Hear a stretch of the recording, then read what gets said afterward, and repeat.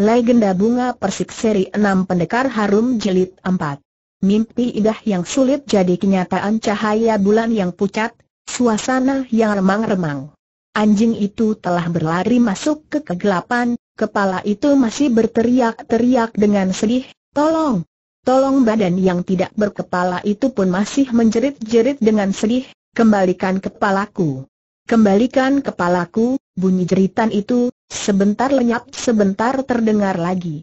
Bunyi angin yang menderu-deru, dibaurkan dengan jeritan-jeritan itu, kedengarannya persis dengan setan-setan yang sedang melolong.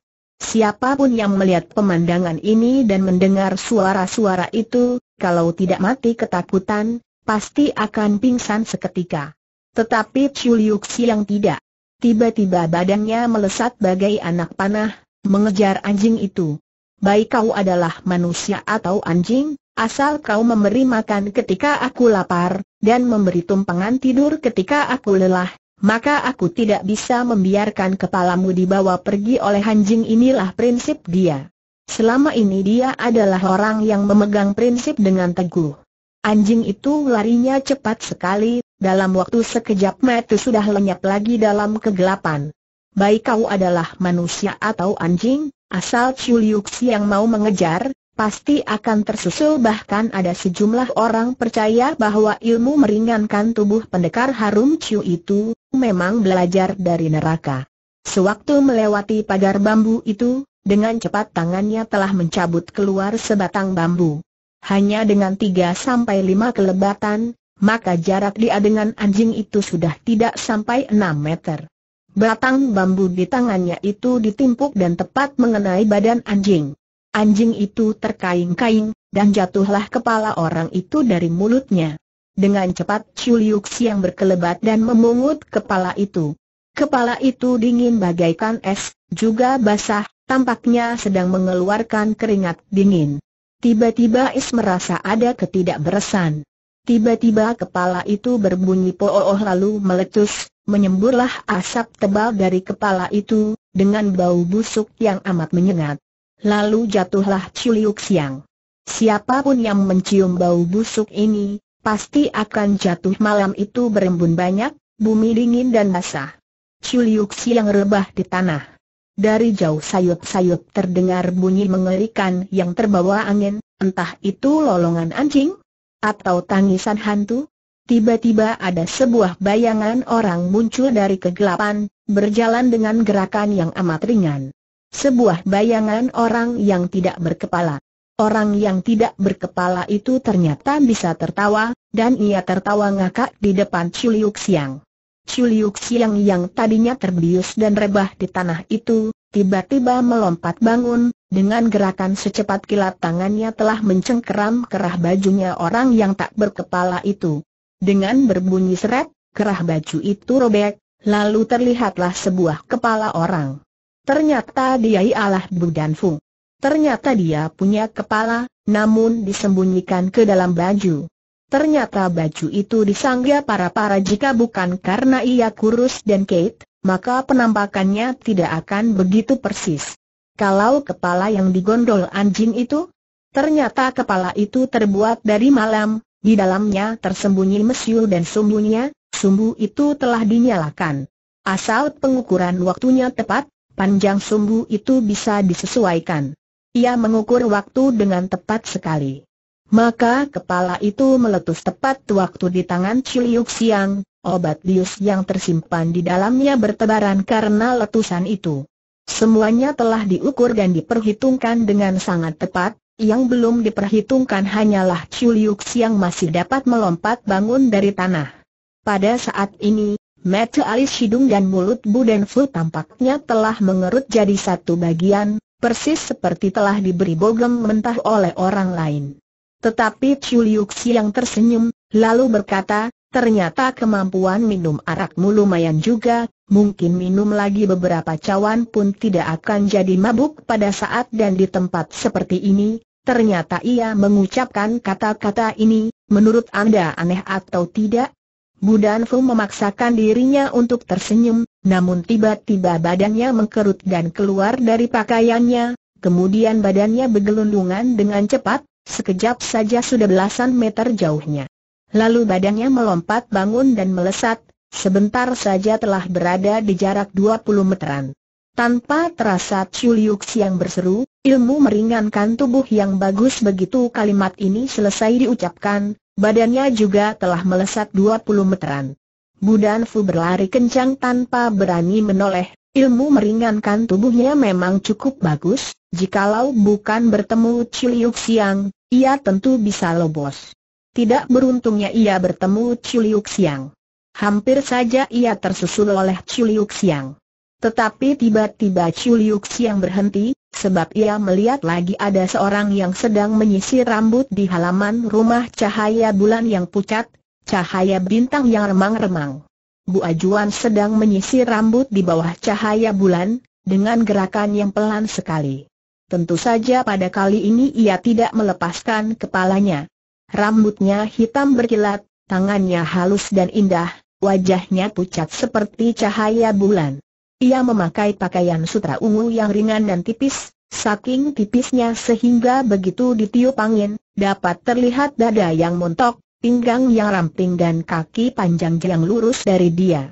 Pakaian sutra ungu yang ringan dan berada di dalam angin itu, persis seperti gumpalan kabut yang amat tipis. Tubuh mulus dan berkilauan yang berada di balik pakaian sutra ungu itu lapat-lapat terlihat. Tidak tahu yang berada di dalam kabut itu, gadis atau bunga? Chuliuk Siang bukan orang yang alim, juga bukan orang buta. Mendadak Bu Ajuan menoleh, bertanya seraya tersenyum manis, kau belum mati Chuliuk Siang menjawab dengan tersenyum juga, aku masih manusia, bukan setan, Apakah obat bius itu bermasalah? Obat bius itu tidak bermasalah, yang bermasalah ialah hidungku, aku tahu kehebatan obat bius itu, yang bahkan dapat membius orang yang tidak punya hidung sekalipun Chuliuk yang senyum lagi dan berkata, sekalipun tidak punya hidung, kepala itu juga tidak akan begitu ringan, Bu Ajuan berkata seraya mengedipkan mata, apakah begitu merasakan kepala itu terlalu ringan, Kau segera menutup pernafasanmu Chuliuk yang berkata seraya tersenyum, barangkali aku tidak merasakan apa-apa. Hanyalah nasibku luar biasa baik, Bu Ajuan berkata dengan tersenyum aku tahu baru-baru ini nasibmu tidaklah baik, oh ya Bu Ajuan berkata seraya tersenyum manis, orang yang bernasib bunga persik, biasanya punya nasib yang tidak begitu baik, tanpa terasa Chuliuk yang mengelus-elus hidungnya, lalu berkata, bagaimana kau bisa tahu aku sedang bernasib bunga persik? Bu Ajuan menjawab seraya tersenyum, sebab kau tidak saja memiliki sepasang mata bunga persik, juga memiliki sebuah hidung bunga persik Chuliuk yang menimpali sambil senyum untung tanganku bukan tangan bunga persik, dalam bahasa Tionghoa, mata bunga persik berarti, mata keranjang, hidung bunga persik berarti, hidung belang. Tangan bunga persik berarti, tangan yang suka gerayangan, makanya kau masih bisa duduk dengan baik di sana Bu Ajuan bertanya seraya memutar-mutarkan biji. Makanya, apakah tanganmu alim sekali? Apakah kau berharap tanganku tidak alim? Bu Ajuan berkata seraya menggigit bibir, jika tanganmu benar-benar alim datanglah kemari dan sisirkanlah rambutku, Chuliuk yang tidak menjawab, badannya juga tidak bergerak. Bu Ajuan melirik dia dengan ujung mata, lalu bertanya, apakah kau tidak bisa menyisir rambut walaupun tanganku alim tapi tidak bodoh, apakah kau tidak suka menyisirkan rambut orang itu tergantung, kadang suka, kadang tidak suka, tergantung apa tergantung apakah kepala orang itu bisakah dilepas dari lehernya rambut gadis itu halus, lembut dan indah, dipandang di bawah sinar bulan persis dengan sutra. Tiba-tiba Chuliuk Siang merasa bahwa, membantu menyisirkan rambut seorang gadis itu adalah semacam kenikmatan. Barangkali gadis yang rambutnya disisirkan oleh dia pun merasa adalah semacam kenikmatan. Chuliuk Siang menyisir dengan gerakan tangan yang amat ringan. Sinar mata Bu Ajuan redup seperti sinar bintang, lalu berkata dengan suara lembut, Sejak dulu aku sudah pernah dengar kata orang, bahwa pendekar harum ciu tidak pernah mengecewakan wanita. Tapi sejak dulu aku tidak percaya, kalau sekarang Bu Ajuan menjawab sambil senyum, Sekarang aku percaya kamu masih dengar orang ngomongin aku tentang apa. Bu Ajuan mengedip-ngedipkan mata dan berkata dengan perlahan, mengatakan bahwa kau amat cerdik seperti rubah tua, di dalam dunia ini tidak ada hal yang kau tidak ngerti, juga tidak ada seorang pun yang dapat menipumu, semua ini aku sekarang juga percaya mendadak Chuliuk Siang menghela nafas panjang, lalu berkata seraya tersenyum masam, tetapi sekarang aku agak mencurigai diriku sendiri, oh ya hari ini juga aku telah melihat satu hal yang aku tidak ngerti, apa itu? Kenapa kepala itu bisa berbicara? Bu Ajuan menjawab seraya tersenyum lagi, yang berbicara bukan kepala itu, tapi Bu Danfu, namun aku jelas-jelas melihat bahwa yang berbicara adalah kepala itu, sebetulnya kau tidak benar-benar melihat. Itu cuma semacam perasaan saja, Kok bisa ada perasaan itu? Waktu kecil Bu Denfu pernah pergi ke Tianzhu? Tianzhu adalah sebutan kuno untuk India, dan berhasil mempelajari semacam ilmu aneh dari biksu-biksu Tianzhu. Ilmu apa itu orang Tianzhu menyebut ilmu ini bahasa perut, artinya dia dapat berkata-kata dari dalam perutnya, sehingga kau tidak bisa tahu suara itu dari mana datangnya Chuliuk yang menghela nafas panjang lagi, lalu berkata, wah Tampaknya di dalam dunia ini sungguh amat banyak ilmu yang aneh-aneh. Yang tidak mungkin bisa dipelajari semuanya oleh siapa pun sepanjang hidupnya Bu Ajuan berkata seraya tersenyum mamis, saat ini pun kau sudah cukup membuat banyak orang sakit kepala, kalau kau bisa mempelajari semua ilmu, mana ada lagi jalan hidup bagi orang lain? Chuliuk yang juga tersenyum, tiba-tiba bertanya kelihatannya Bu Denfu bukanlah ayahmu. Tentu saja bukan, jika tidak kenapa aku bisa langsung menyebut namanya dia itu apa? Mau dia itu lakiku, tangan Chuliuk Siang yang pegang sisir itu tiba-tiba berhenti, dan dia menjadi termangu-mangu.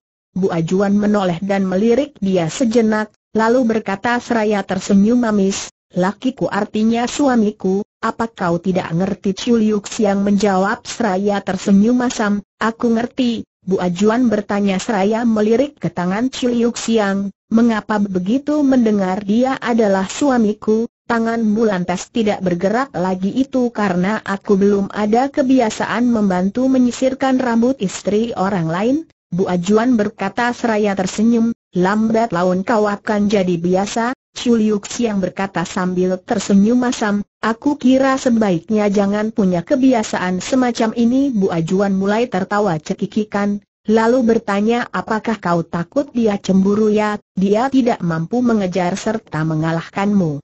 Kau takut apa? Aku tidak senang melihat rupa pria yang cemburu, Bu Ajuan berkata seraya memutar-mutar biji matanya, kalau dia tidak cemburu di dalam dunia ini tidak ada pria yang tidak cemburuhan.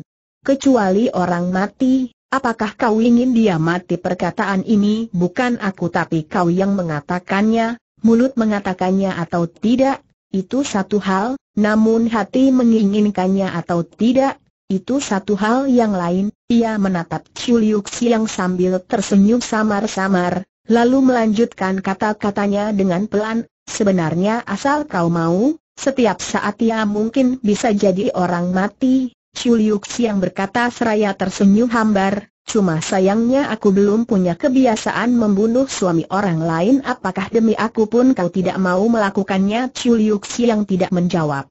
Ia tak akan pernah mengucapkan kata-kata yang menyakitkan dan mengecewakan kaum wanita.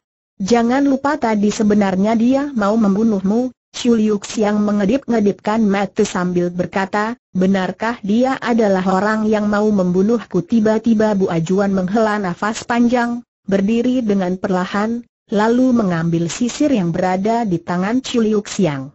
Chuliuk Siang bertanya kenapa kau menghela nafas seseorang kalau hatinya sedih, ia akan menghela nafas, jadi kau amat sedih ya mengapa? Karena sebenarnya aku tidak ingin kau mati, namun jika dia tidak mati, kamulah yang harus mati. Oh ya kau tidak percaya sebab aku selalu merasa, menginginkan kematianku bukanlah suatu hal yang amat mudah Bu Ajuan berkata dengan perlahan, tapi juga tidak sesulit seperti yang kau pikirkan. Tiba-tiba ia mengangkat sisir itu dan bertanya, apakah kau tahu sisir ini terbuat dari apa? Dari kayu, jenisnya kayu banyak sekali, Setahuku kira-kira ada seratus jenis, Chuliuk Siang mendengarkan. Di antara seratus jenis kayu ini, ada sembilan puluh lebih jenis yang termasuk biasa, ia tersenyum sejenak, lalu melanjutkan kata-katanya, yang dimaksud biasa itu artinya tidak berbisa, jika kau menggunakan sisir yang terbuat dan kayu biasa itu untuk menyisir rambut orang lain, kalau menginginkan kematian ya barulah tidak mudah, jadi sisirmu ini sisirku ini terbuat dari kayu pria cemburu sejenis kayu yang termasuk yang luar biasa. Apanya yang luar biasa? Bu Ajuan tidak menjawab, tapi mengelus-elus rambutnya yang panjang dan halus itu, lalu tiba-tiba bertanya, menurut kau rambutku wangi tidak? Wangi sekali, itu karena rambutku telah diolesi minyak wangi, sinar mata Culiuk yang berkelap-kelip lalu bertanya apakah jenisnya minyak wangi juga amat banyak betul. Setahuku kira-kira ada seratus jenis juga apakah sembilan puluh lebih jenis di antaranya juga termasuk yang biasa yang tidak berbisa Bu Ajuan tersenyum manis seraya berkata, kamu kok tambah lama tambah cerdas ya, Chuliuk yang tersenyum seraya berkata, minyak wangi yang dioleskan di rambutmu itu, Tentu saja yang termasuk jenis yang luar biasa itu tepat sekali. Chuliuk Siang menghela nafas panjang, lalu bertanya, kenapa aku tidak bisa melihat keluar biasaannya minyak wangi jenis ini bernama minyak pacar, ketika kayu pria cemburu bertemu minyak pacar, akan mengeluarkan semacam gas racun yang luar biasa. Ketika kau menyisirkan rambutku, tanpa kau bisa merasa, gas racun ini telah masuk ke dalam pori-pori tanganmu, maka, ia menghela nafas panjang lagi, lalu meneruskan kata-katanya dengan pelan, paling lama setengah jam lagi, maka sepasang tanganmu akan mulai membusuk, lalu tulang tanganmu akan ikut membusuk, bahkan seluruh daging dan tulang tubuhmu akan rusak dan membusuk Chuliuk yang terkesiap sambil terbengong-bengong. Bu Ajuan bertanya seraya tersenyum, menurutmu cara membunuhku ini hebat tidak? Barangkali sampai-sampai pendekar harum yang tahu segala hal pun tidak akan pernah menduganya kan Shuliuk yang berkata seraya tersenyum masam, tampaknya di dalam dunia ini, care pembunuhan yang aneh-aneh memang betul-betul banyak sekali. Hari ini kau telah menyaksikan dua macam. Di antaranya dua hari yang lalu aku telah menyaksikan beberapa macam, Apakah kau merasakan bahwa semua macam care itu hebat sekali? Betul-betul hebat sekali mendadak ia melanjutkan kata-katanya. Seraya tersenyum, walaupun semua care itu hebat sekali, namun sampai saat ini aku masih hidup sehat. Walafiat kan hanya sampai saat ini kan? Selanjutnya siapa yang bisa tahu hal yang selanjutnya aku bisa? Oh ya aku dapat memberi jaminan padamu, bahwa care yang aku pergunakan ini bukan saja paling hebat, bahkan paling efektif. Ia meneruskan kata-katanya seraya tersenyum, sekalipun kau bisa setiap saat menutup pernafasanmu, tapi masa kau bisa menutup seluruh pori-porimu? Chuliuk yang menganggukkan kepala dan berkata seraya menghela nafas panjang, jika demikian, kelihatannya aku mesti mati ya karena itu hatiku amat sedih, jikalau kau begini sedih, Mengapa tidak membiarkan aku hidup saja? Bu Ajuan memutar-mutar biji matanya, lalu berkata, jika kau ingin tidak mati. Hanya ada satu care-care apa pergi dan bunuhlah Bu dan Fu demi aku, mengapa tidak kau sendiri yang membunuh dia? Bu Ajuan berkata seraya menghela nafas dalam-dalam, meskipun aku bukanlah wanita baik-baik, namun membunuh suami sendiri, Aku masih tidak mampu melakukannya apakah kau mengira aku mampu melakukannya dia akan bukan temanmu, juga bukan suamimu, jika mau membunuhnya, mudahnya seperti kau membalikan tanganmu. Kecuali kau menganggap nyawa dia lebih penting dari nyawamu, Chuliuk yang mulai lagi mengelus-elus hidungnya. Bu Ajuan berkata dengan santai, lebih baik kau cepatan ambil keputusan, sebab jika racun itu mulai bereaksi, menyesal sudah. Terlambatlah sikapnya makin santai, malahan menunjukkan situasinya makin gawat.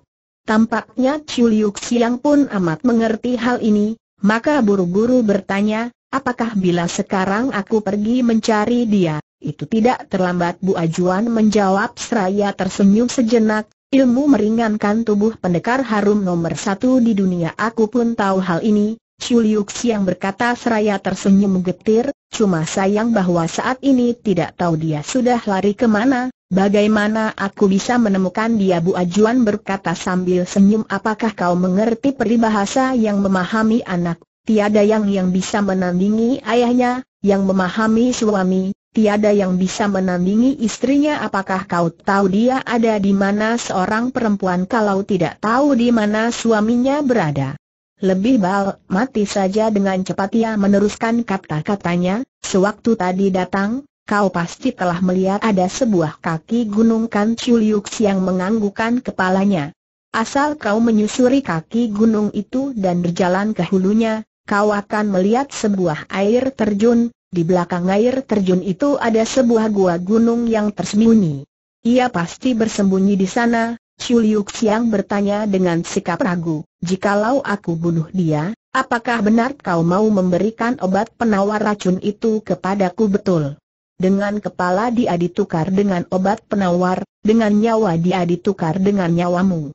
Ini bisnis pertukaran yang yang adil, tiada yang dirugikan, tetapi kenapa kau mesti menginginkan kematiannya Bu Ajuan berkata dengan sikap dingin, cerita ini tunggu kau kembali saja, barangkali aku mau memberitahukanmu, sekarang jika mau masih banyak bertanya, takutnya kau akan terlambat. Chuliuk Siang bertanya seraya menghela nafas panjang, baiklah, aku mengajukan pertanyaan yang terakhir, apakah kau pasti akan menunggu aku di sini tentu? Ternyata Chuliuk Siang memang tidak berkata apa-apa lagi, memutar badannya lalu pergi.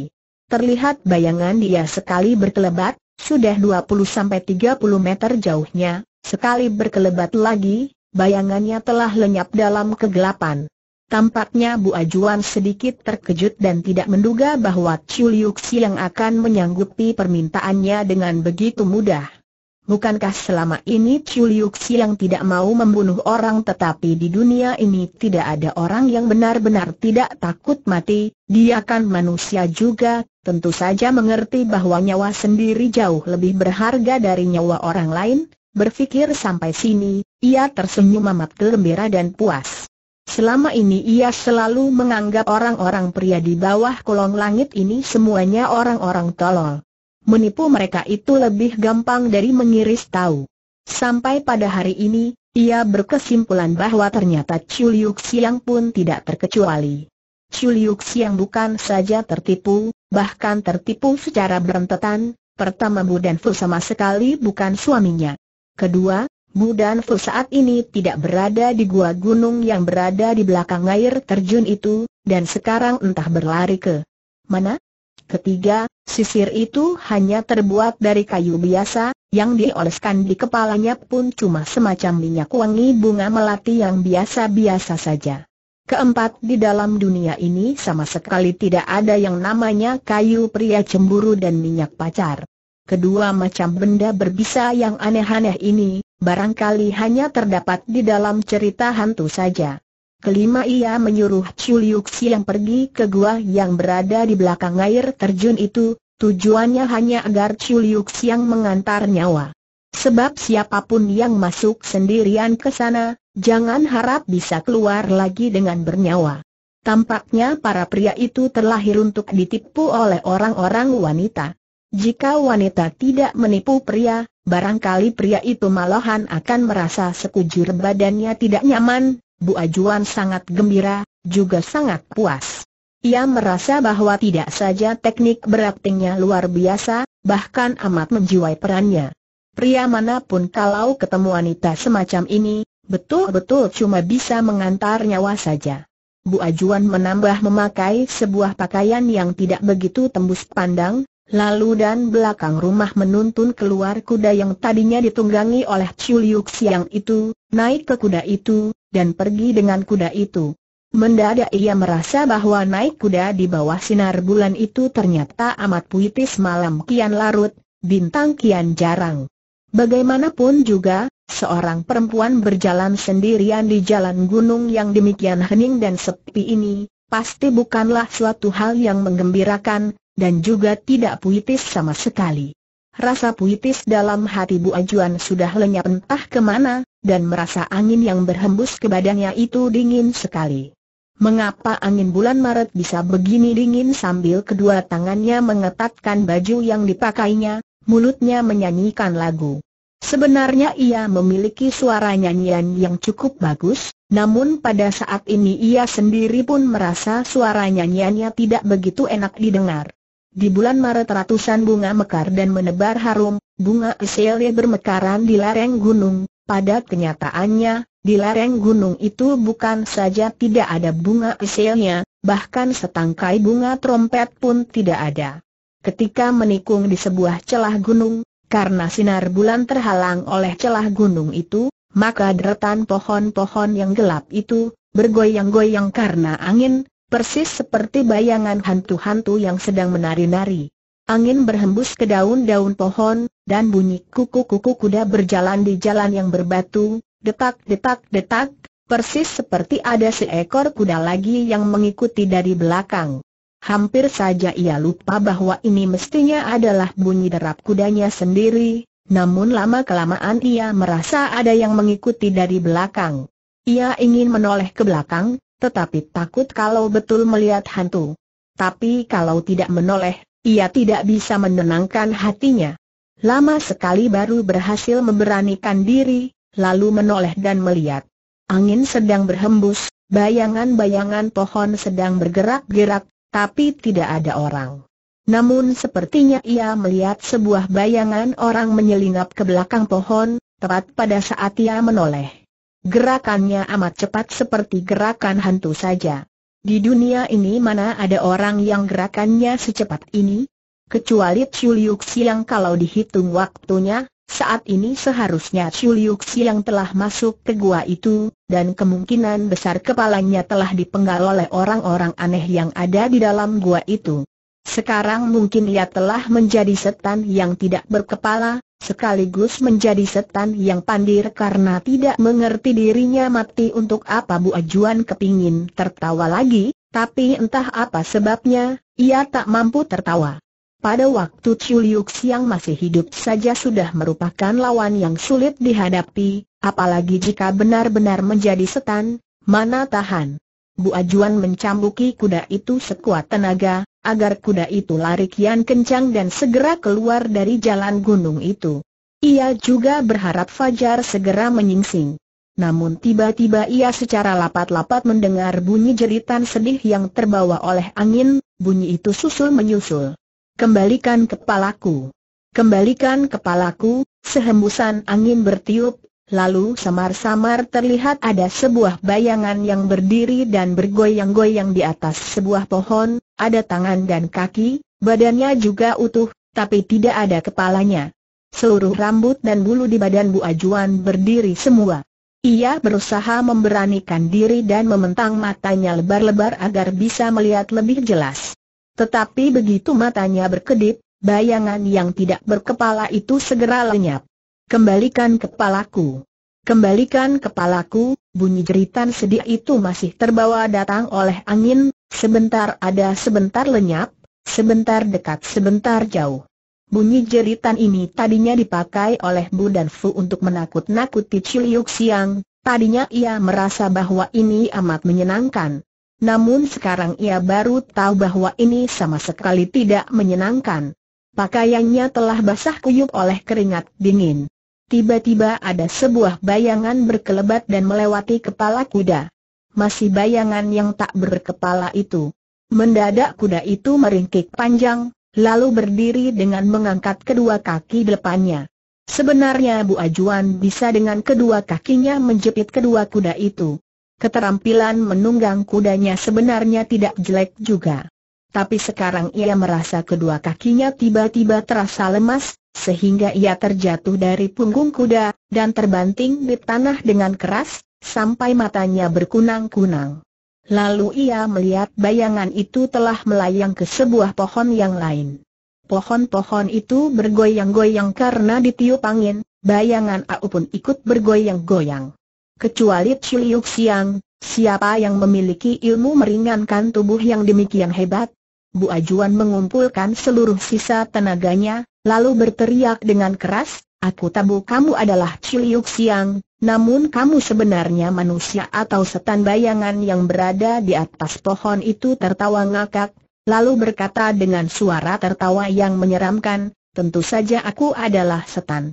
Kalau manusia, kenapa bisa tidak berkepala Bu Ajuan berkata seraya menggigit bibirnya, kau, kepalamu disembunyikan di balik bajumu, bayangan itu mendadak berkata seraya tertawa nyaring, Kali ini omonganmu betul, beserta dengan suara tertawa itu, kepala Chuliuk yang muncul.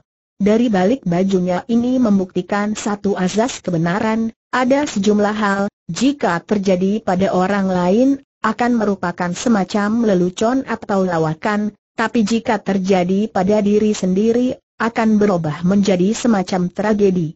Tiba-tiba Bu Ajuan merasa kedua kakinya tidak lemas lagi, dengan cepat melompat bangun, menepuk dan mengebuti tanah yang menempel di badannya, lalu berkata seraya tersenyum dingin, kau kira kau bisa menipuku?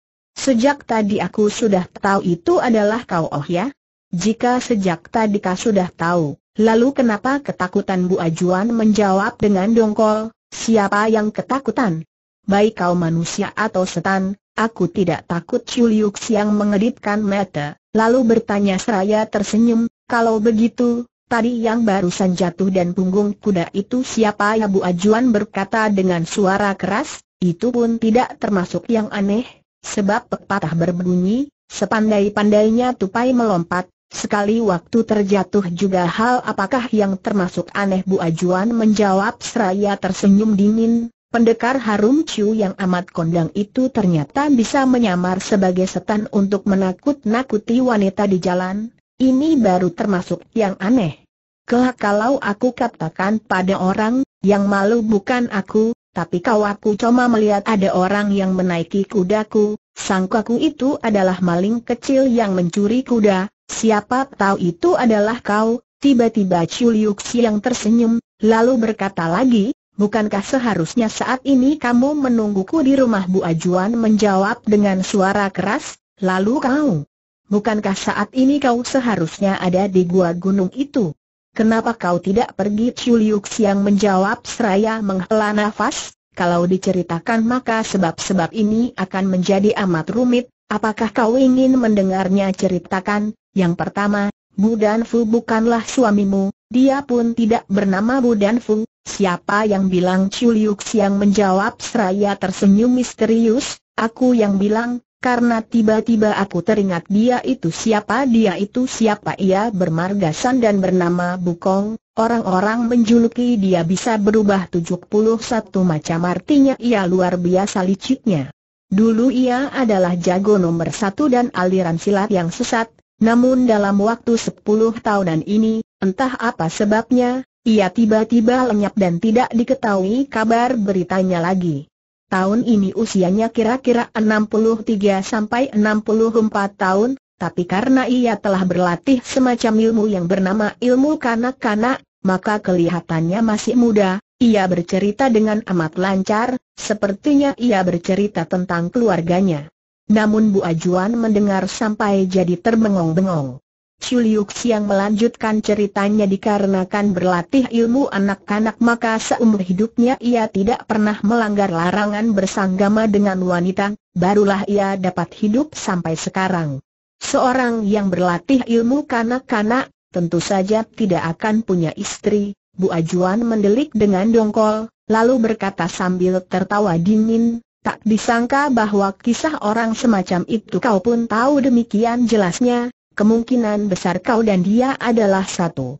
Jalan Chuliuk yang berkata sambil senyum, jangan lupa bahwa orang-orang menjuluki aku panglima besar di antara maling dan perampok, seorang panglima besar, kalau asal-usul anak buah sendiri saja tidak jelas, becuskah dia? Bukankah lebih baik mati saja bola mata Bu Ajuan berputar-putar, lalu berkata dengan dingin, hanya sayangnya bahwa Panglima Besar ini segera akan masuk peti mati Chuliuk yang berkata seraya tersenyum sekilas, hanya sayangnya bahwa yang baru aku ceritakan itu nomor satu, tentu saja masih ada yang nomor dua, yang nomor dua yang nomor dua. Sisirmu itu tidak terbuat dan kayu pria cemburu, yang dioleskan di kepalamu pun bukan minyak pacar, sesaat ekspresi wajah Bu Ajuan berubah, lalu berkata seraya mendelik, siapa yang bilang Chuliuk Siang menjawab seraya tersenyum sekilas, aku yang bilang, sebab aku tahu yang dioleskan di rambutmu itu adalah minyak bunga melati dan toko Yuan Huaki di ibu kota. Minyak itu hasil buatan dan ramuan rahasia dari toko yang sudah terkenal lama sekali itu, punya bau harum yang amat anggun, harga minyak itu selain amat mahal, belinya pun hanya di toko itu, di lain tempat tidak ada metu Bu Ajuan mendelik kian besar, lalu bertanya, kenapa kau bisa tahu aku bisa menciumnya? Bukankah hidungmu tumpul rasa Chuliuk Siang menjawab sambil senyum, hidungku memang kadang-kadang tumpul rasa, tapi kadang-kadang juga tajam rasa, itu tergantung keadaan, tergantung keadaan apa tergantung apa yang aku cium, kalau mencium bau tahi anjing atau obat bius, tentu saja hidungku tumpul rasa, tetapi kalau mencium bau wangi-wangian yang berasal dari tubuh wanita cantik, hidungku barangkali jauh lebih tajam dari siapa pun. Bu Ajuan menggigit gigi keras-keras, lalu berkata dengan amat mendongkol, tidak keliru kalau banyak orang mengatakan bahwa kau adalah setan maksiat, ternyata memang benar sekali ah tidak. Kamu terlalu memuji saja kamu sudah menceritakan yang nomor dua, apakah masih ada yang nomor tiga ya? Ada, Chuliuk yang melanjutkan kata-katanya seraya tersenyum, yang nomor tiga. Tiba-tiba aku teringat siapa yang tinggal di dalam gua itu, Bu Ajuan bertanya seraya mengedip-ngedipkan matanya siapa ya sekeluarga orang yang bermarga mas siapa pun yang cari gara-gara dengan mereka, berarti mencari keberadaan, Bu Ajuan berkata seraya tertawa dingin, sungguh tidak disangka ya, bahwa bagi Chuliuk Siang juga ada orang yang ditakuti. Aku semuanya tidak takut, cuma takut berabe saja, Bu Ajuan berkata dengan sikap dingin, hanya sayang bahwa saat ini sudah ada keberadaan yang hinggap di atas dirimu Chuliuk yang berkata seraya menghela nafas panjang. Makanya saat ini aku hanya ingin menemukan keberadaan itu berasal dari mana, masa kau ingin aku memberitahukanmu masa kau masih bisa tidak memberitahukanku masa tidak boleh jika tidak memberitahukanmu tidak boleh. Bu Ajuan berkata seraya memutar-mutar bola matanya, jika aku tidak mau memberitahukanmu, lalu kau mau apa? Chuliuk yang tidak menjawab, namun tiba-tiba menyambar pinggang Bu Ajuan dan memeluknya.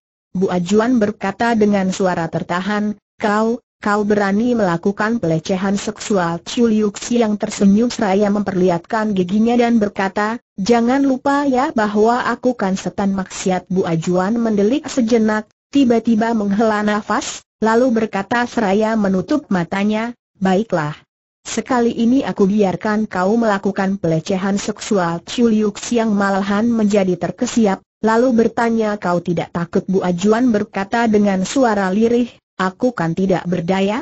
Mau berkelahi tidak bisa menang darimu, mau berlari tidak bisa lari darimu masa kau tidak bisa berteriak Bu Ajuan berkata seraya menghela nafas, seorang wanita teriak-teriak begini, ke mana wajahku mau ditaruh?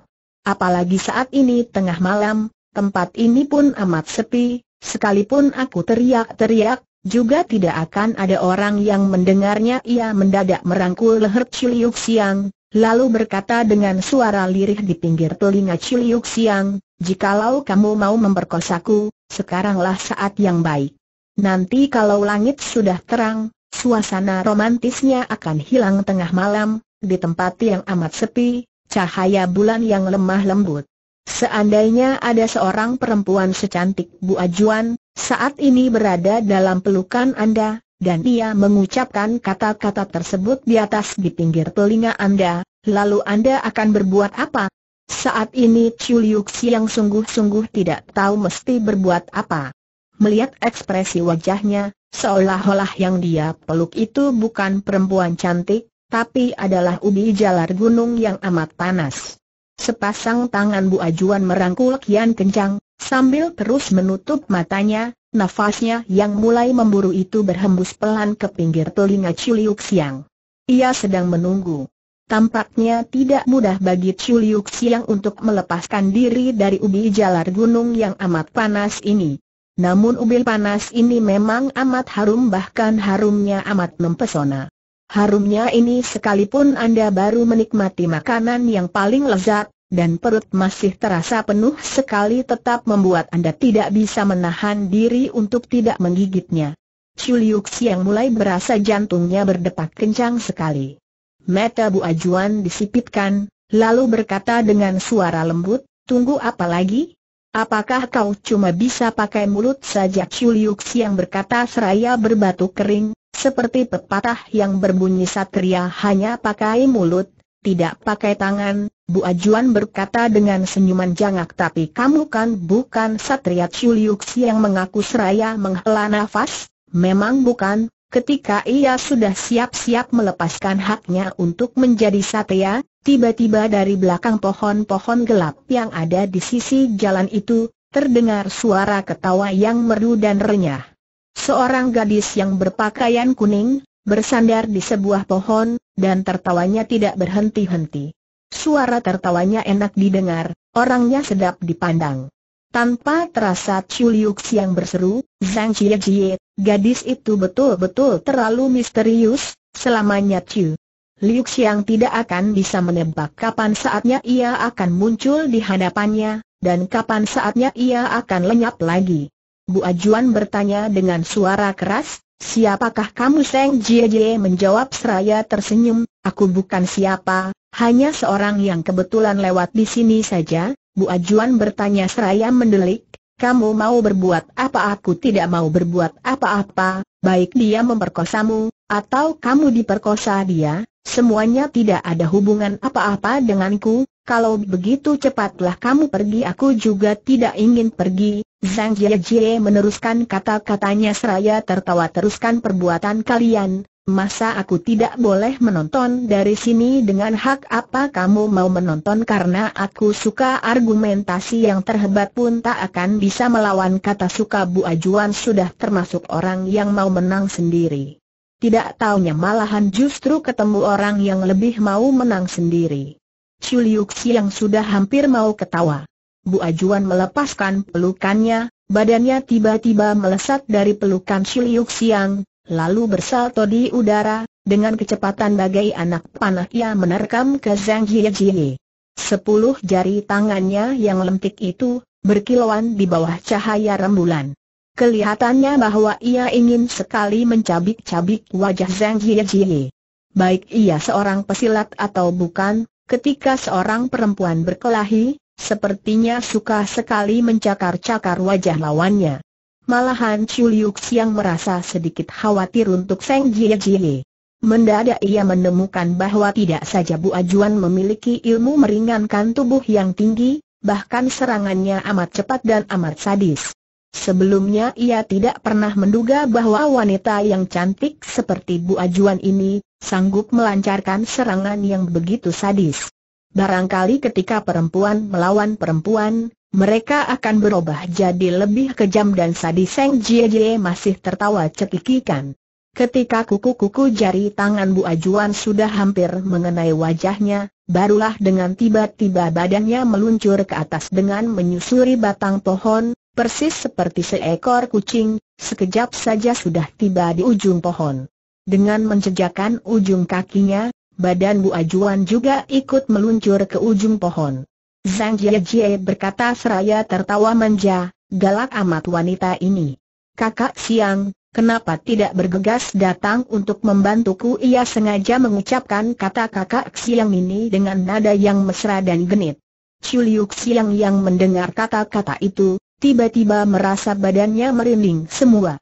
Bu Ajuan yang mendengar kata-kata itu, api amarahnya kian berkobar-kobar, lalu berkata seraya tersenyum wanita ini benar-benar tidak tahu malu. Ia tidak sadar kalau kata-katanya bisa membuat orang yang mendengarnya merasa muak dan mau muntah kata-katanya masih belum selesai diucapkan, ia telah melancarkan tujuh jurus serangan. Zhang Jie sambil menghindar, sambil berkata seraya tertawa. Terus, yang tidak tahu malu itu aku atau kamu? Kenapa kamu mesti menginginkan kakak siangku untuk memperkosamu saking marahnya sampai tidak bisa berkata-kata lagi, dengan air muka yang merah padam, Bu Ajuan melancarkan serangan-serangan yang makin aneh dan makin sadis.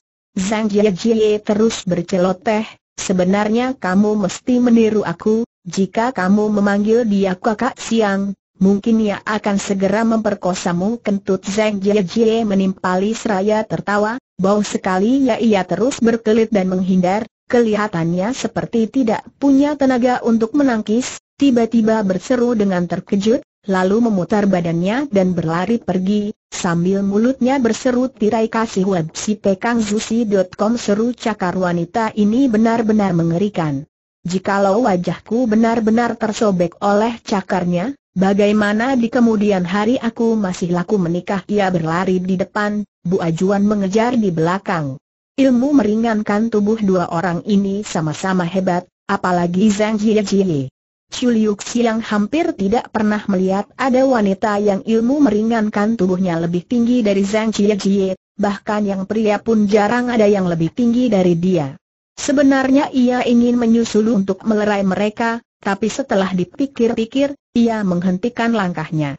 Ketika dua wanita berkelahi, satu-satunya hal yang bisa dikerjakan si pria adalah berdiri saja dan tidak bergerak. Jika dapat tiba-tiba berubah menjadi tuli dan buta, itu adalah tindakan yang lebih bijaksana. Angin terus berhembus ke daun-daun pohon, tetapi suara dua wanita itu sudah tidak terdengar lagi. Masa mereka berdua sudah melarikan diri. Namun, tiba-tiba terdengar ada seorang menyanyi dengan suara lembut di dalam kegelapan. Dua wanita berkelahi, cuma ada satu yang bisa kembali. Coba tebak, yang kembali itu siapa Chuliuk yang menjawab tanpa berpikir lagi, Zhang Jie Memang benar itu adalah Zhang Jie dengan satu kali kelebatan, ia telah berada di depan Chuliuk Xiang, Lalu berkata seraya tersenyum manis, adik yang manis. Ada perlu apa kau panggil kakak lagi? Chuliuk yang berkata sambil menghela nafas panjang, omonganmu kok itu-itu saja, apakah kau tidak bosan mengatakannya? Zhang Jie berkata sambil tersenyum, bukan saja tidak bosan mengatakannya, bahkan aku juga tidak bosan mendengarkannya, sekalipun dalam sehari kau panggil aku kakak 800 kali, Tetap saja aku merasa senang, ia mengedip-ngedipkan mata dan bertanya, apakah kau merasa senang? Ada hal apa yang perlu aku senang? Ada dua wanita yang demikian cantik ini yang berkelahi demi kau masa kau tidak merasa senang Chuliuk Siang bertanya seraya mengedip-ngedipkan mata juga apakah kau telah membunuhnya tenangkanlah hatimu. Wanita yang secantik dia itu, aku pun tidak tega membunuhnya, jika tidak terbunuh, Lalu sekarang dia ada di mana Zhang Jie mendadak berkata dengan air muka yang tidak senang, untuk apa kau menanyakan hal ini? Apakah kau masih memikirkan dia? Ingin memperkosanya apakah kau kira aku betul-betul adalah orang yang demikian? Zhang Jie berkata sambil tersenyum dingin, masa sih kau adalah orang yang alim? Jika bukan aku keburu datang, kalian berdua, yang satu mau memperkosa, yang satu malahan minta diperkosa. Maka tempat ini pasti sudah menjadi medan tarung bagi kalian kan Chuliuk yang menghela nafas lagi, lalu berkata seraya tersenyum masam, aku sungguh kagum padamu, ternyata kau juga sanggup mengucapkan kata-kata demikian ketika seorang wanita merasa cemburu, maka kata-kata yang lebih tidak sedap pun sanggup diucapkannya kau cemburu Seng Jie Jie berkata seraya mendelik, kalau cemburu terus bagaimana? Masa cemburu itu melanggar hukum tiba-tiba ia tidak bisa menahan dirinya, dan berkata seraya tertawa, sebenarnya, sekalipun kau punya keinginan memperkosa, juga tidak usah mencari dia. Chuliuk Siang mengelus-elus hidung dan bertanya aku masih bisa mencari siapa bola? Mata Zhang Jie berputar-putar, lalu berkata dengan suara halus, paling sedikit ada satu orang yang bisa kau cari, orang itu ada di mana? Zhang Jie menjawab seraya menggigit bibir, jauh di mata, dekat di hati, Chuliuk Siang mendadak berubah menjadi seorang pandir kelas berat, kedua matanya menatap kosong, lama sekali celingukan, baru seraya mengerutkan alis, Aneh, ya.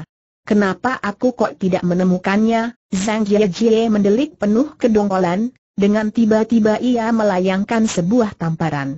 Tamparan itu cepat sekali, kalau orang lain pasti tidak bisa menghindarinya. Namun kali ini beda, tangannya terpegang oleh Chuliuk Siang. Chuliuk Siang berkata sambil senyum, jika kau sungguh ingin menamparku, maka gerakanmu seharusnya lebih cepat sedikit. Zhang Jie melirik dia dengan ujung mata, lalu berkata dengan senyum samar-samar, apa kau kira aku benar-benar tidak bisa menamparmu?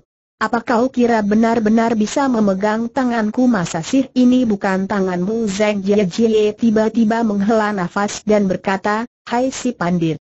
Masa kau tidak menyadari bahwa aku sengaja membiarkan kau menangkap tanganku sengaja? Mengapa Zhang Jie menundukkan kepala dan berkata dengan lirih, sebab aku suka kau pegang tanganku, suaranya lembut dan manis, pada malam yang hening ini, keluar dari mulut seorang gadis secantik dia ini, betul-betul mirip dengan lagu yang termerdu di dunia ini. Hati Chuliuk siang mulai mencair, bagai es dan salju yang mencair karena hembusan angin musim semi. Tepat pada ketika ini, Tangan Zhang Jie tiba-tiba berbalik dan mencengkeram pergelangan tangan Chiliuk Siang, sebelah tangannya bergerak cepat bagaikan kilat, melayangkan sebuah tamparan keras ke pipi kanan Chiliuk Siang. Sambil berkata dengan tertawa manis, kali ini kau pasti tidak dapat menghindarkan, namun kalimat ini tidak bisa selesai diucapkannya. Hati Chuliuk Siang memang sudah mencair, tetapi tangannya belum. Tahu-tahu tangan Zhang Jie Jie sudah terpegang lagi, dan tangan Zhang Jie Jie yang mencengkeram pergelangan tangan Chuliuk Siang, malahan sebaliknya tercengkeram oleh Chuliuk Siang. Yang dirasakan Zhang Jie Jie adalah, seolah-olah bahkan setengah buah tulang pun tidak ada pada sepasang tangan Chuliuk Siang. Kata Chuliuk Siang saya tersenyum, Kali ini kau tetap saja tidak berhasil menamparku, Zhang Jie mendeliki dia dengan penuh kedongkolan, lama sekali baru muncul senyuman dari matanya, kemudian berkata seraya tersenyum manis, sebenarnya aku sama sekali tidak tega menamparmu, kenapa kau mesti tegang ini membuktikan suatu hal, wanita yang jujur belum tentu menyenangkan, wanita yang menyenangkan belum tentu jujur. Asal Anda merasa dia menyenangkan, maka Anda mesti mempercayai apa yang dia katakan, baik itu benar atau tidak. Jika tidak, maka Anda bukanlah pria yang bijak, juga bukan pria yang hidup dengan bahagia namun saat ini Chuliuk yang tidak bisa merasa bahagia.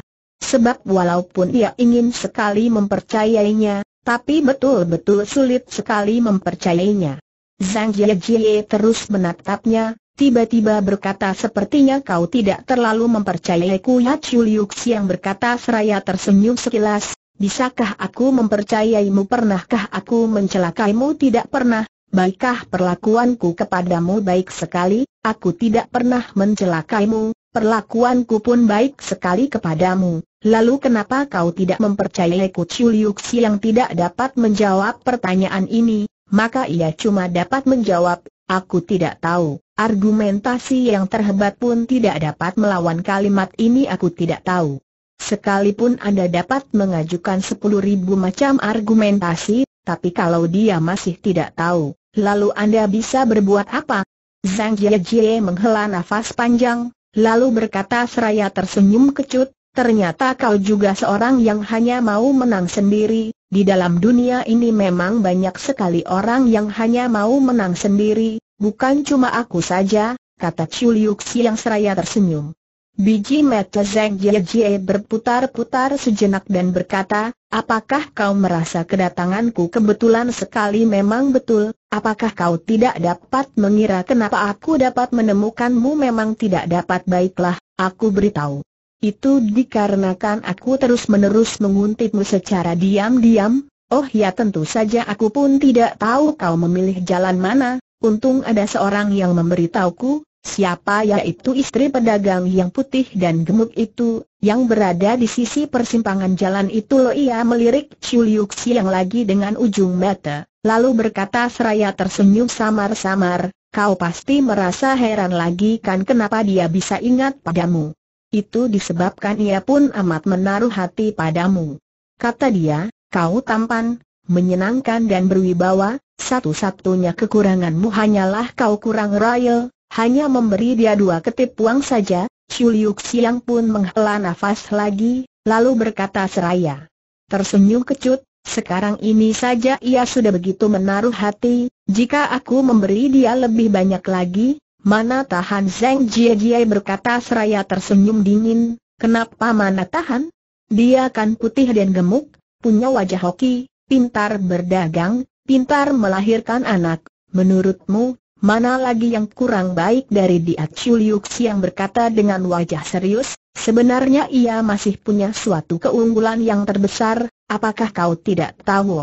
Apa itu ia hanya jual arak, tidak jual cuka, masa ini juga terbilang keunggulannya. Seandainya ia menjual cuka, maka tempayan cukanya pasti dirobohkan olehmu, dengan demikian modal dia pun akan ludes, dalam kesusastraan bahasa Tionghoa, makan cuka adalah suatu kata kiasan yang berarti, cemburu, karena urusan cinta, merobohkan tempayan cuka seseorang berarti, melabrak seseorang yang dianggap sebagai lawan saingannya dalam urusan cinta, bintang kian jarang, malam hampir berakhir.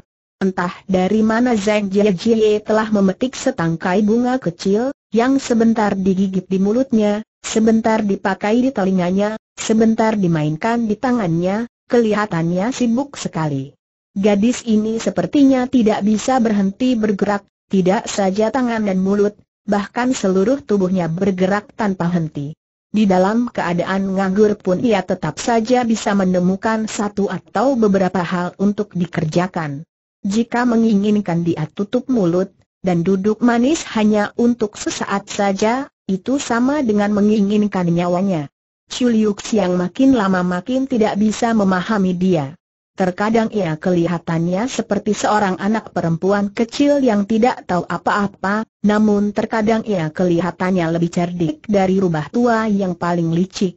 Chuliuk Siang bertanya seraya menghela nafas, sekarang aku sudah tahu dengan care bagaimana kau datang, tapi apa maksud kedatanganmu mencariku Zhang Jie menjawab seraya mendelik, orang lain bisa datang mencarimu, kenapa aku tidak bisa orang lain datang mencariku kan untuk mencabut nyawaku, kau bagaimana? Aku tidak ingin mencabut nyawamu, malahan ingin kau hidup untuk beradu mulut denganku, Chuliuk Siang bertanya seraya tersenyum masam, kau datang mencariku, apakah cuma untuk beradu mulut denganku? Zhang Jie Jie menjawab seraya tersenyum manis, aku masih belum punya kelemahan sebesar ini, mendadak air mukanya berubah jadi amat serius, lalu berkata, aku datang mencarimu. Hanya untuk memberitahumu dua hal yang teramat penting, apa itu aku sudah menyelidiki dan tahu siapakah sepasang suami istri yang tua itu, Oh ya apakah kau masih ingat tangan nenek itu selalu menenteng apa batang timbangan nenek itu memakai batang timbangan itu untuk memukul suaminya. Sinar mata Liuk siang menjadi terang, lalu berkata dengan terkesiap, aku teringat. Kakek sial dan nenek gendut, timbangan tak pernah meninggalkan anak timbangan. Zhang Jie Jie menjawab seraya tersenyum memang betul, kakek itu adalah timbangan, nenek itu adalah anak timbangan, dua orang itu memang sesuai sekali dengan julukannya. Kau betul-betul tak akan bisa menemukan seorang yang lebih mirip anak timbangan dari nenek itu tetapi Chuliuksi yang tidak ikut tersenyum. Dikarenakan ia tahu bahwa meskipun kakek dan nenek itu memiliki nama dan julukan yang lucu, tampang mereka pun amat menggelikan, tapi sebenarnya mereka adalah orang-orang yang menakutkan. Zhang Jie melanjutkan kata-katanya, kata orang mereka sebenarnya adalah pesilat kelas wahid dari daerah Lingnan, bahkan mereka memimpin sebuah kekuasaan jahat yang amat besar. Tetapi pada belasan tahun yang lalu, mereka tiba-tiba mengundurkan diri dan hilang dari pandangan orang, sejak saat itu tidak ada lagi orang yang mengetahui berita mereka. Entahlah kenapa kali ini mereka tiba-tiba muncul lagi. Mungkin ada seseorang yang mengundang mereka secara khusus untuk membunuhku, kau pikir siapa yang mengundang mereka? Dapat mengundang pesilat-pesilat tangguh yang telah lama mengundurkan diri ini, orang itu sungguh-sungguh punya sesuatu yang disegani orang biji mata Zhang Jie berputar-putar, lalu melanjutkan lagi, siapa pemilik bagal itu, aku pun telah mengetahuinya, siapa tuan keempat Jin, siapakah dia ia adalah paman keempat Jin Ling Shi, sekaligus orang yang paling berkuasa di Taman Wan Fuan Shou. Karena kau pernah pergi ke tempat itu untuk pengucapan selamat ulang tahun, pasti pernah melihat orang itu, Chuliuk Siang mengiyakannya. Bukan saja ia pernah melihat orang itu, bahkan punya kesan yang amat dalam. Chuan keempat Jin memang seorang yang mudah meninggalkan kesan yang amat dalam bagi setiap orang yang pernah berjumpa dengannya. Perayawakannya tidak terlalu tinggi besar, tapi punya badan yang sehat dan kuat. Jika berdiri kelihatannya seperti sebuah bukit, yang tidak sanggup direbahkan oleh siapa pun. Chuliuk Siang bahkan masih ingat akan raut mukanya sepasang alis yang tebal, sepasang mata yang bersinar, kumis yang rapi. Sekalipun ia tersenyum, masih tertampak kewibawaannya. Dilihat dari segi mana pun, tidaklah menimbulkan kesan bahwa ia adalah seorang yang jahat. Chuliuk Siang berkata dengan sikap ragu-ragu, apakah maksudmu adalah, suami istri itu diundang oleh dia? Dan orang yang mau membunuhku juga adalah dia Zhang Jie berkata dengan sikap yang tawar, aku tidak berkata apa-apa, cuma berkata bahwa bagal itu adalah miliknya, bagaimana kau bisa tahu Zhang Jie menjawab seraya tersenyum, tentu saja aku punya caranya, Care apa Zhang Jie menjawab seraya mengedipkan mata hal itu aku tidak dapat memberitahukanmu, kenapa tidak dapat sebab aku tidak suka, Fajar telah menyingsing. Akhirnya mereka telah keluar dari daerah perbukitan itu, dan kuda itu tetap mengikuti dari belakang. Ada orang berkata, bahwa anjing dan kuda adalah sahabat manusia yang paling setia, Sebenarnya itu hanyalah karena mereka telah membentuk suatu sifat ketergantungan pada manusia, sehingga lebih rela jadi budak manusia, tapi tidak berani berdikari. Biji mata Zhang Jie berputar-putar, lalu bertanya seraya tersenyum, dengan bersusah payah aku datang kemari untuk memberitahukanmu hal-hal itu, lalu kau akan berterima kasih padaku dengan care apa aku tidak tahu sebab ia menyadari bahwa kalimat ini merupakan care terbaik untuk menghadapi Zhang Jie. Zhang Jie berkata seraya tersenyum, kau tidak tahu, tapi aku tahu, kau tahu apa aku tahu kau orang yang kikir, jika benar-benar menginginkan kau mentraktirku, sekalipun kau dibunuh pun tak akan mau. Tapi seandainya aku minta kau mentraktirku minum arak, tak akan menolakkan Chuliuk Siang pun berkata seraya tersenyum itu pun tergantung keadaannya, tergantung kau minumnya banyak atau tidak, dan tergantung arak di tempat itu mahal atau tidak. Seng Jie Jie berkata seraya menghela nafas panjang, untung aku tahu ada satu tempat, bukan saja araknya tidak mahal, bahkan di sana ada seorang istri pedagang yang putih dan gemuk. Ia terus-menerus merindukan mulu. Tampaknya kau tidak membayar pun tidak masalah deh tanpa terasa Chuliuk Siang mengelus-elus hidungnya, lalu berkata seraya tersenyum masam, apakah kau benar-benar mau ke tempat itu harus dong? Sebab aku telah memutuskannya walaupun masih pagi, tapi tempat penjualan arak yang berada di persimpangan jalan itu telah mulai usahanya. Sebab orang-orang yang bepergian di waktu pagi memang lebih banyak. Si pedagang yang senantiasa bermuram doja itu sedang menyalakan kompornya, mukanya kotor dan berminyak karena terkena asap. Si istri pedagang yang putih dan gemuk itu sedang mengawasi suaminya dari samping dengan wajah cemberut, tampaknya ia lagi kesal, sampai-sampai anak kecil yang sedang ia gendong pun tidak berani menangis. Tapi begitu melihat Ciliuk Siang, rasa kesalnya segera sirna, wajah pun penuh senyuman. Anak kecil yang tadinya baru kena pukul karena merengek mau makan telur rebus kecap, sekarang ia malahan menjejalkan telur ke mulut anak itu, untuk menunjukkan bahwa ia adalah wanita yang lemah lembut dan ibu yang penuh welas asih. Zhang Jie Jie tertawa cekikikan seraya melirik Chuliuk Siang dengan ujung matanya. Chuliuk Siang terpaksa pura-pura tidak melihat. Ketika istri pedagang itu agak menjauh untuk mengiris daging dan menuangkan arak, Zhang Jie tiba-tiba berbisik di sisi telinga Chuliuk Siang, aku telah salah omong ya. Sekalipun ia putih sekali, tapi sedikit pun tidak gemuk Chuliuk Siang masih pura-pura tidak mendengarnya. Coba lihat kulitnya putih mulus dan amat empuk. Seandainya aku adalah laki-laki, baik dia punya suami atau tidak, aku akan berikhtiar agar mendapatkan dia. Zhang Jie makin berkata makin bersemangat. Dan sewaktu Is mau meneruskan celotehannya, untunglah daging dan arak sudah mulai disajikan. Istri pedagang itu berkata seraya tersenyum manis, daging sapi hari ini betul-betul baru saja direbus dengan kecap, Chuan muda akan mengetahuinya setelah mencoba, Zhang Jie menyela tiba-tiba, Anda kok hanya menyilahkan Chuan muda untuk mencoba?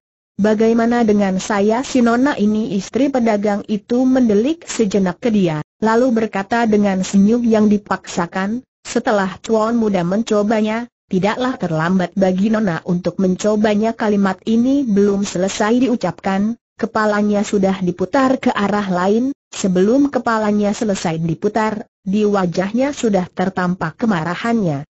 Zhang Jie menjulurkan lidah sejenak, lalu berkata dengan suara kecil sambil menyeringai, ternyata dia melihat aku saja sudah tidak senang. Agaknya lebih baik aku pergi saja, agar tidak disebali orang, ia ambil secangkir arak dan meneguk habis, lalu membalikan badan mau pergi. Tanpa terasa Chuliuk yang berseru, kau betul-betul mau pergi Zhang Jie menjawab, Aku kan pernah bilang hanya minum secangkir arak traktiranmu, jika minum lebih banyak lagi nanti kau akan merasa sayang dan menyesal badannya melompat dan duduk di kudanya Ciliuk Siang, lalu menjalankan kuda sambil berkata seraya tertawa cekikikan, kudamu ini aku pinjam dulu ya, lain kali saat kita ketemu lagi akan ku kembalikan. Kau pasti tidak sedemikian kikirnya sampai seekor kuda pun tidak mau dipinjam orang kan begitu kata-katanya selesai diucapkan, kuda dan orangnya telah pergi amat jauh. Sebenarnya Chuliuk yang mau mengejarnya, namun kemudian mengurungkan niatnya. Ia betul-betul tidak dapat menemukan sesuatu alasan untuk mengejar gadis itu. Aku kan tidak pernah mencelakaimu, juga tidak pernah berhutang padamu, Lalu dengan dalih apa kau mau mengejarku sekalipun ia dapat mengejar gadis itu, namun dengan sekalimat kata seperti itu saja sudah bisa membuat dia mati kutu. Oleh sebab itu ia hanya bisa memandangi si gadis yang pergi jauh, yang bisa dilakukan hanyalah termangu-mangu dan tersenyum masam saja.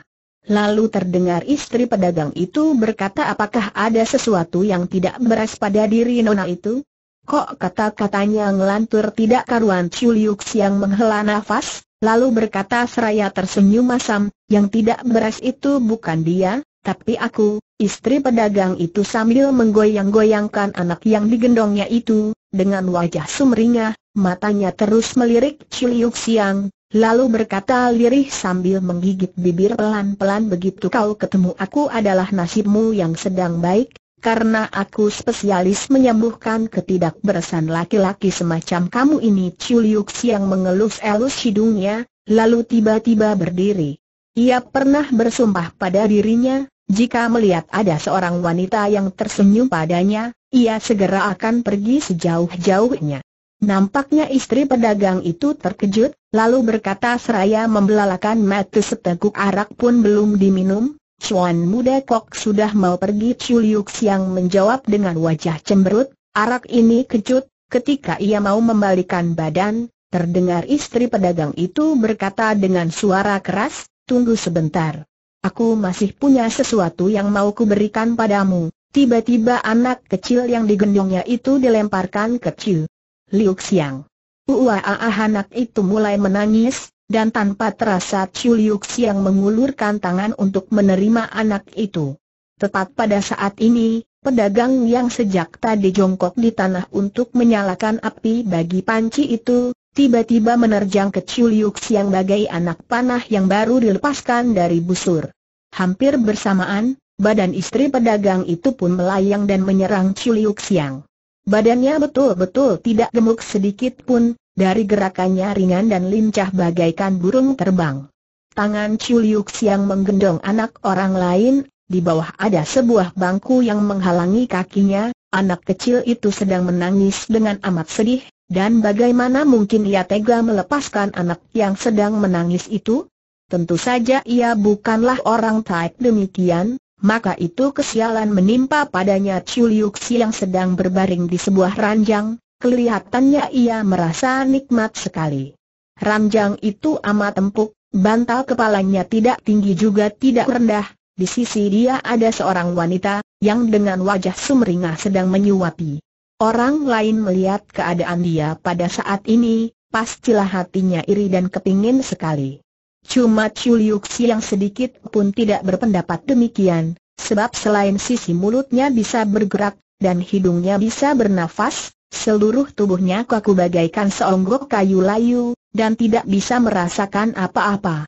Tangan istri pedagang itu sedang memegang sebuah cangkir arak, yang dituangkan pelan-pelan ke mulut Ciliuk Siang, dan berkata seraya tersenyum menggoda, arak ini kecut tidak-tidak kecut, wanita itu mengering, lalu berkata dengan senyum yang kian manis, aku cantik tidak amat cantik, istri pedagang itu berkata seraya menggigit bibir, seberapa cantiknya lebih cantik dari Dewi Kayangan, kalau dibandingkan dengan gadis bau kencur yang ugal-ugalan itu paling sedikit lebih cantik 38.657 kali lipat bisa makan daging sapi dan arak yang sedemikian enaknya, serta ditemani wanita yang sedemikian cantiknya, lalu kenapa kau masih bermuram durja?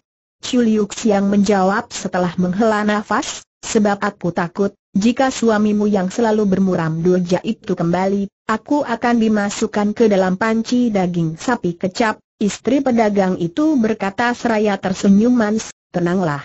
Ia tidak akan kembali, mengapa? Sebab suamiku itu sebenarnya cuma hasil pinjaman, sekarang sudah terpakai, makanya dikembalikan kepada pemiliknya. Masa anak kecil itu pun hasil pinjaman tentu saja, mendadak Is membuka baju atasnya, sehingga menyembul keluar sepasang buah dada yang montok dan membusung.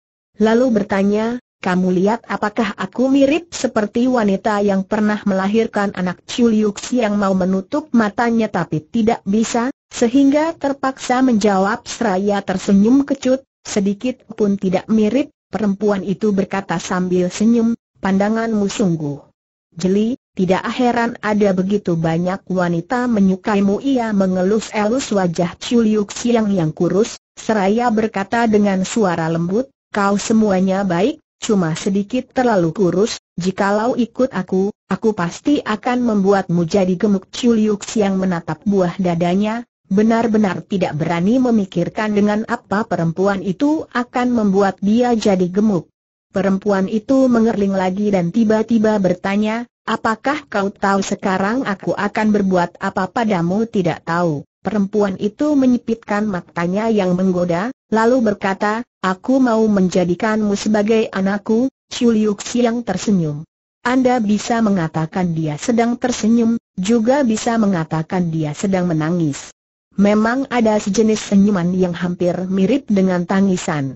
Seandainya tangannya bisa digerakkan, pasti tidak dapat menahan dirinya untuk mengelus-elus hidung lagi. Ketika ekspresi wajah Chuliuksi yang terlihat oleh perempuan itu, maka ia berkata seraya tersenyum makin senang, apakah kau tahu bahwa hal yang paling menggembirakan di bawah kolong langit ini, adalah menjadi anak orang lain tapi aku ada seorang kawan yang tidak berkata demikian, apa yang dia katakan. Ia senantiasa berkata, bahwa hal yang paling menggembirakan di bawah kolong langit ini adalah minum arak, kawanmu itu pasti lebih bodoh dari babi bodoh, ketahuilah bahwa walaupun minum arak itu menggembirakan, akan, tapi hari pertama minumnya makin menggembirakan, akan.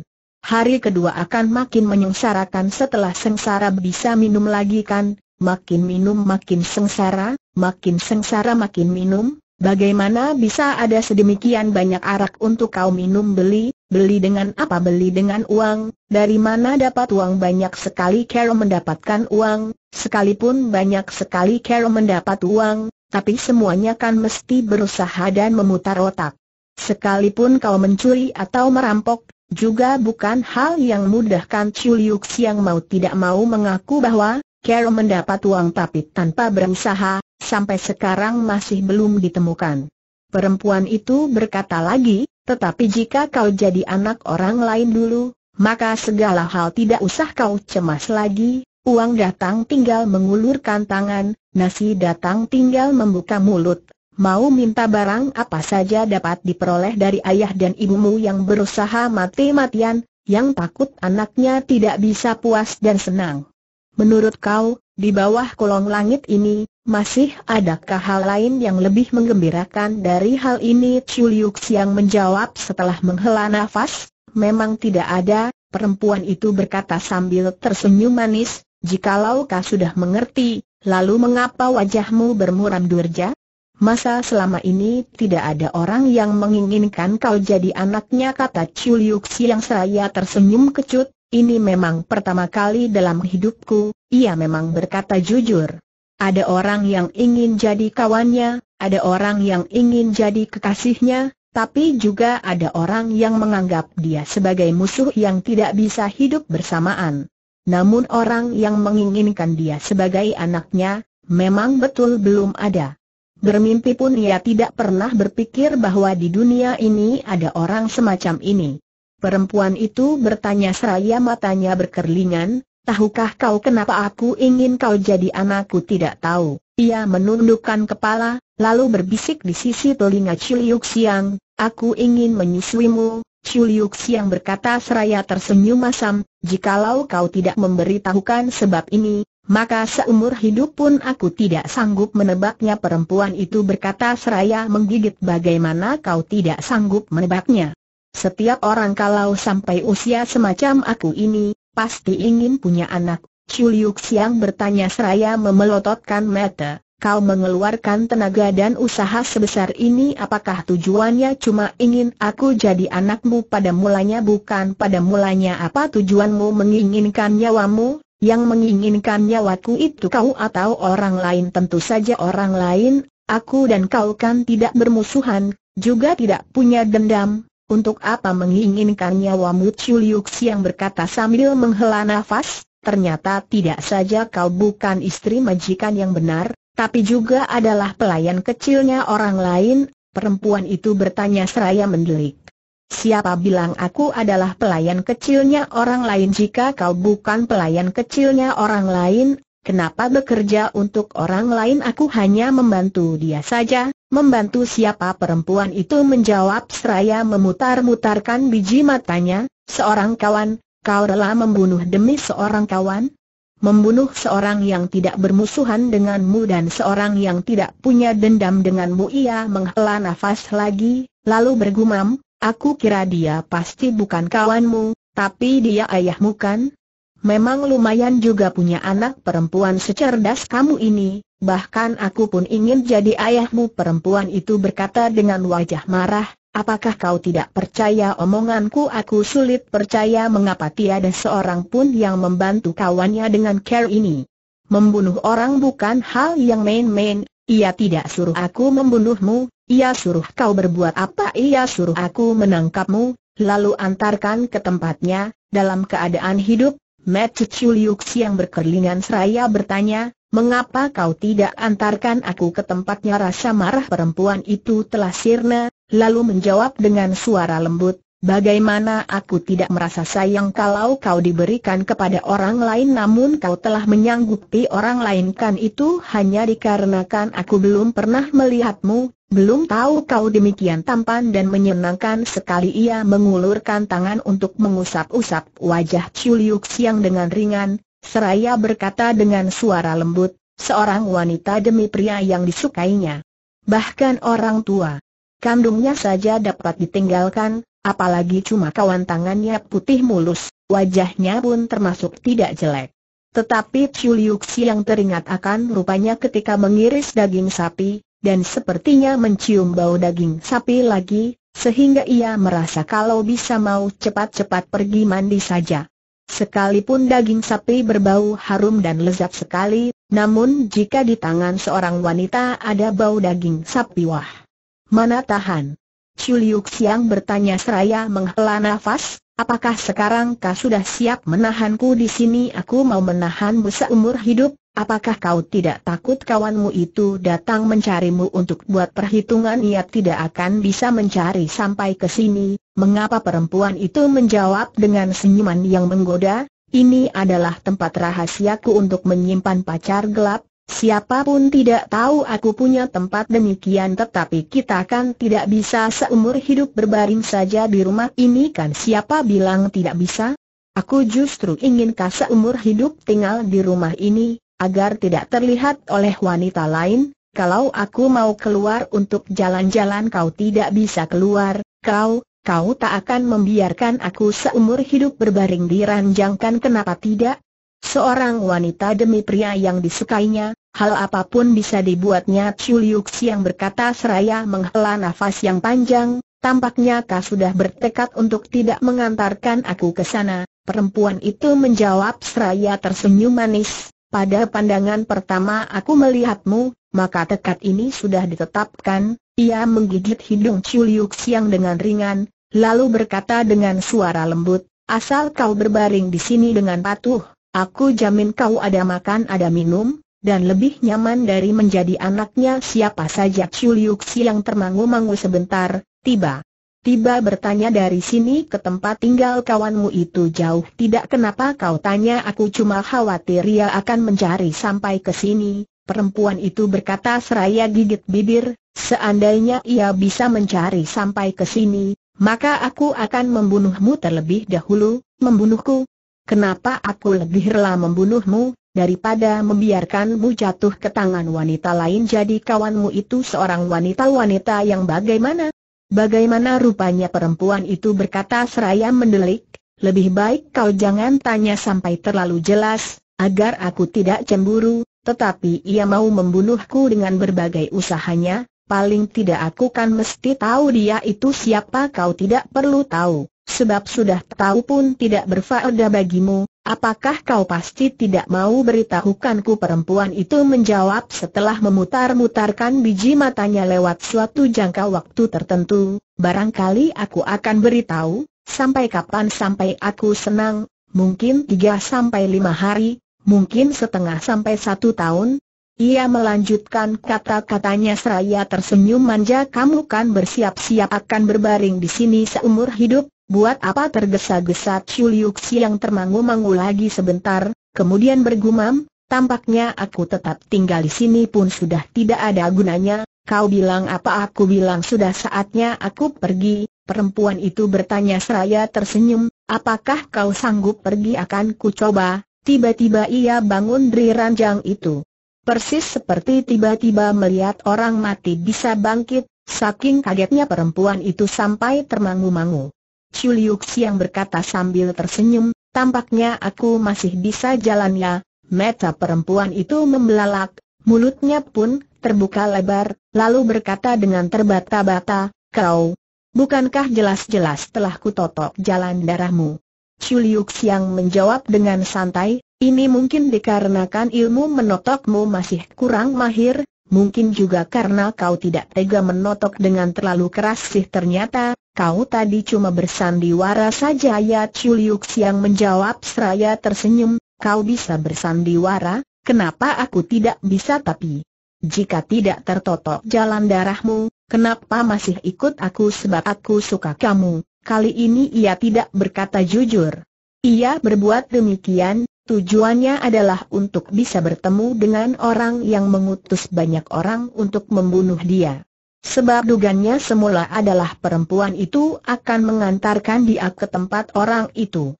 Perempuan itu berkata seraya menggigit bibirnya jika kau suka aku, kenapa sekarang mau pergi Chuliuk yang berkata dengan suara hambar, sebab kau tidak cuci tangan setelah mengiris daging sapi, dan aku tidak menyukai wanita yang tangannya ada bau daging sapi, perempuan itu merah padam wajahnya, Saking marahnya sampai tak mampu berkata-kata.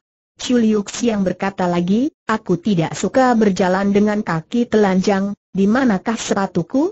Ambilkanlah untukku, mata perempuan itu mendelik, saking marahnya sampai warna mukanya berubah-ubah, namun akhirnya toh mengambilkan sepasang sepatu untuk Chuliuk Siang. Chuliuk Siang berkata seraya menepuk-nepuk kakinya, tolong pakaikan, perempuan itu mengertakkan giginya, lalu memakaikan sepatu untuk Chuliuk Siang. Ada pepatah bahasa Tionghoa yang berbunyi seorang laki-laki yang cerdik tidak akan menelan kerugian yang diakibatkan oleh kebodohannya. Pepatah ini hanya betul separuh, sebab tidak hanya laki-laki yang cerdas, wanita yang cerdas atau cerdik pun tidak mau menelan kerugian yang diakibatkan oleh kebodohannya. Bahkan dalam hal ini, wanita umumnya jauh lebih cerdik dari laki-laki. Chuliuk Siang turun pelan-pelan dari ranjang, memakai pakaian luarnya, dan merapikannya dengan gerakan perlahan. Perempuan itu tidak bisa menahan dirinya dan bertanya, katanya kamu mau pergi, kok tidak cepat pergi Chuliuk Siang bertanya balik seraya tersenyum, kenapa sekarang kau malahan mau mengusirku? Kau takut apa perempuan itu menggigit bibirnya dan tidak menjawab. Chuliuk Siang bertanya lagi, Apakah kau takut aku memaksamu untuk menyebutkan nama kawanmu itu wajah perempuan yang putih dan mulus itu, sekarang sudah mulai jadi agak pucat. Chuliuk Siang tersenyum, lalu berkata, tenangkanlah hatimu.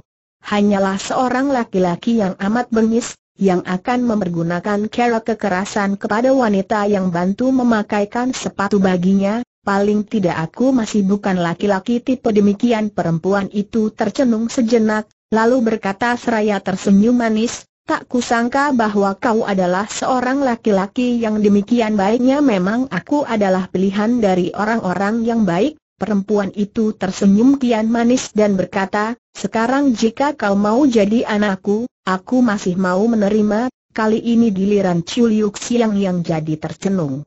Sebab tiba-tiba ia merasa tidak boleh jadi orang baik, apalagi di depan wanita.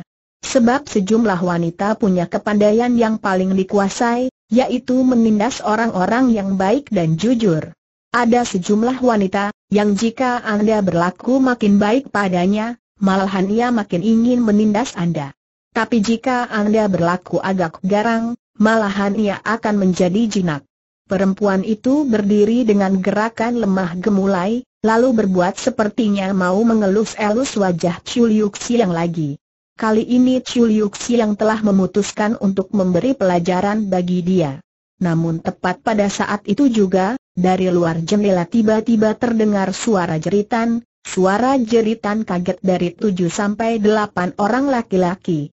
Lalu menyusul bunyi jatuhnya tujuh sampai delapan senjata ke tanah. Dengan gerakan secepat anak panah yang baru lepas dari busur, Chuliuk yang telah melesat keluar jendela pekarangan yang ada di luar itu amat indah dan amat hening. Tapi pekarangan yang seberapa indahnya pun, jika di dalamnya terbaring tujuh sampai delapan laki-laki kekar yang seluruh wajahnya berlumuran darah, akan sirna keindahannya. Yang jatuh berserakan di tanah itu ternyata bukan senjata biasa, tapi adalah kotak busur lintang yang garapannya amat halus.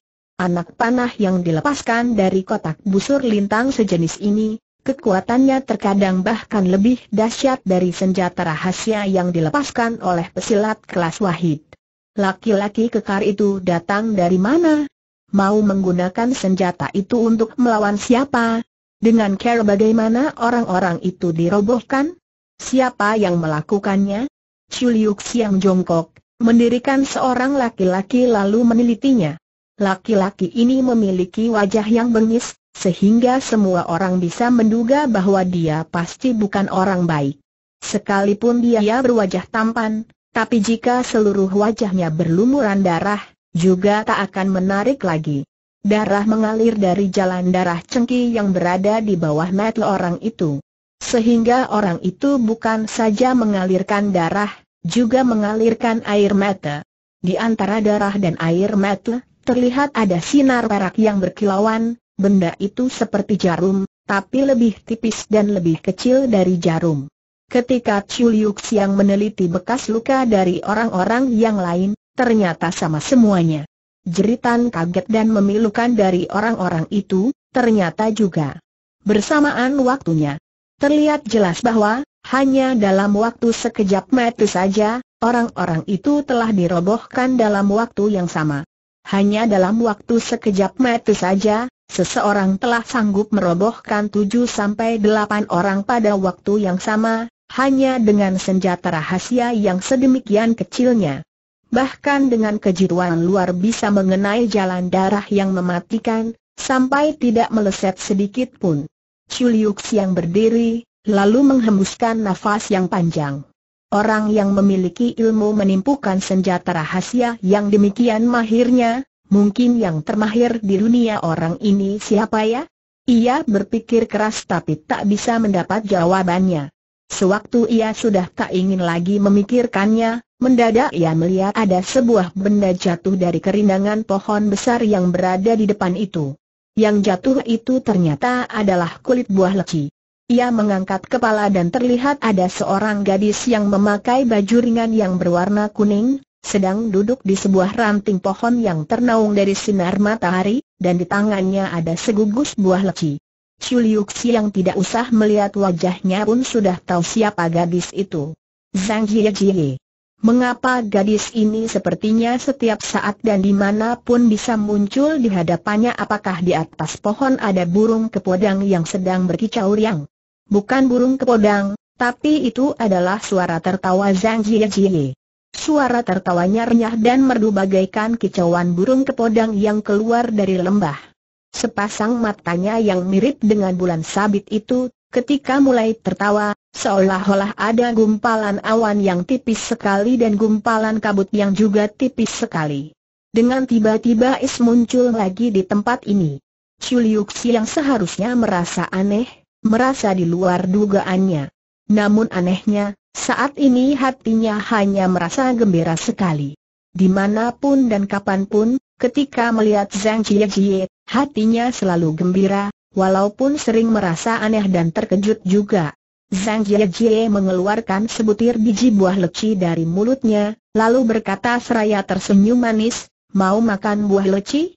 Aku minta seseorang untuk mengantar kemari dengan kuda yang dipacu dengan cepat lo dan buah-buah leci ini didatangkan dari kota Jinan yang cukup jauh Lo Chuliuk yang berkata setelah menghela nafas, kenapa kau tidak bermarga yang Zheng Jie Jie membulatkan bentuk bibirnya, lalu berkata dengan marah yang dibuat-buat, masa cuma yang Gu Bifai, yang Gu Bifai, dalam sejarah Tiongkok kuno, adalah seorang selir kesayangan dari seorang kaisar dinasti Tang selir ini sangat terkenal karena kecantikannya, Walaupun badannya sedikit gemuklah gemar makan buah leci, yang boleh makan buah leci, aku tidak boleh.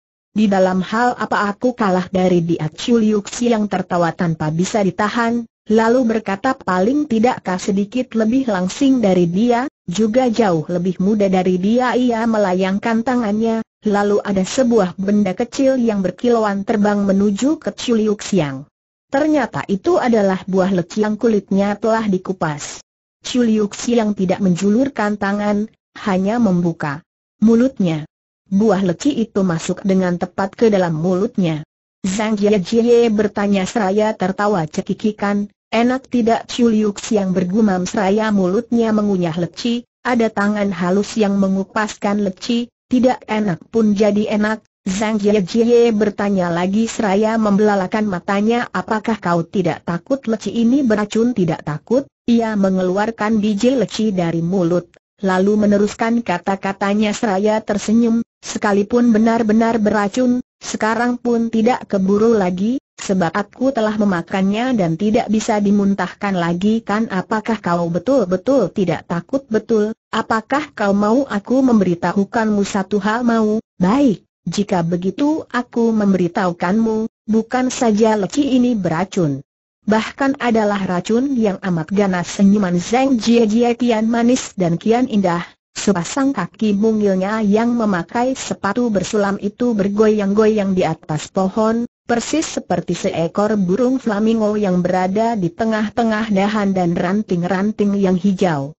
Ia melanjutkan kata-katanya seraya tersenyum manis, jangan lupa bahwa aku pun seorang wanita, lebih-lebih tidak seharusnya kau melupakan nasib bunga persik yang dapat merenggut nyawa, yang saat ini masih berjalan di atas dirimu itu.